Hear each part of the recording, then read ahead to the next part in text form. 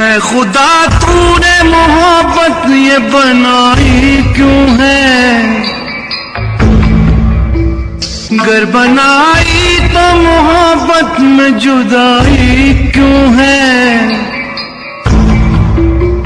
क्यों दिया प्यार मुझे, इसकी ज़रूरत क्या थी? मेरी बर्बादी में शामिल, तेरी हिकमत क्या थी? मेरी